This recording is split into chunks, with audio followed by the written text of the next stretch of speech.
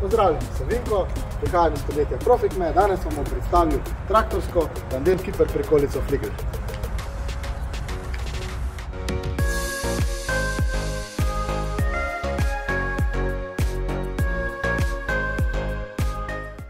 Danes si bomo podrobno pogledali prikolico, ki ima skupno maso 8 ton. Pedalna višina poda je 103 cm. Prikolica ima pripravljeno okovje za tretji par poviškov. Ima trostrani kiper z nihajnim odpiranjem vseh treh stranic. To prikolice je iz enega kosa, na prikolici ni sredinskega vara. Prikolica je opremljena z hidrauličnimi zavorami ter varnostnim ventilom, polna prazna polovička.